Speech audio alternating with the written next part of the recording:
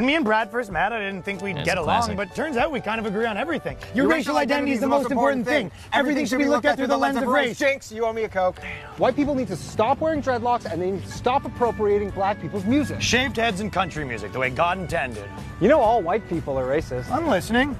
Even if you have a black wife or a black friend group, you're still really racist. You know, we just kicked a guy out of the organization for having a black girlfriend, but black people should only shop at black businesses. I guess the only thing we really disagree about is I think white people are the root of all evil. But what did I tell you, though? If we can narrow that down to a certain group of tiny hatted white people, I think we can come to an understanding. Yep. Yep. That's one of the classics right there.